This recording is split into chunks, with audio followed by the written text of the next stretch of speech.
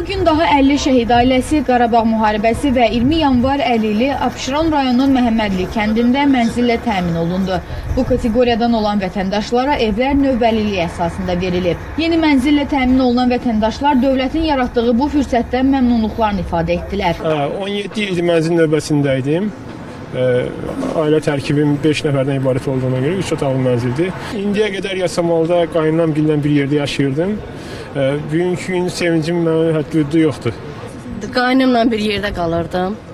25 ildə bu evi gözləyirəm. Şükürlər olsun ki, aldım. Oğlumu nişanlamışdım. Gözüm yolda idi ki, ev veriləcək. Şükür ki, ev verildi. Neçə vaxtdır növbədə ev növbəsində gözləyirik, kvartant qalırdıq.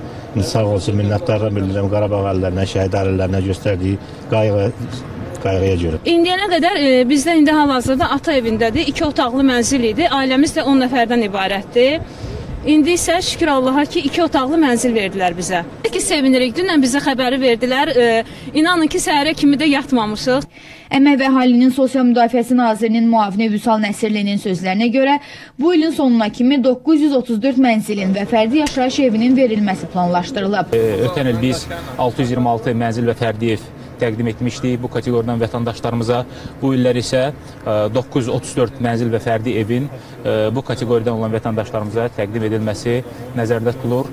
Bugünkü ə, deməli təqdim etmə mərasimində biz Abşeron rayonunun Məhəmbədi kəndində 50 mənzili vətəndaşlarımızın istifadəsinə verdik.